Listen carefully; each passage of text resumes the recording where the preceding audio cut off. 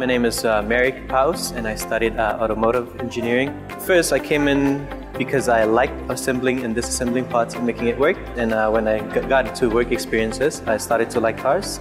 It helped me to be more passionate of what I'm doing.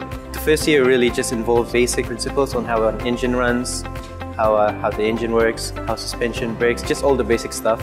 And now in the second year, you just get more into theory.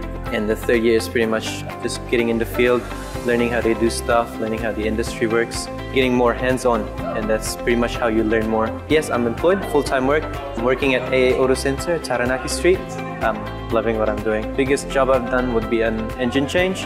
Um, you gotta be a boss at some point, you know? So I'm, I'm looking to uh, run my own workshop as well.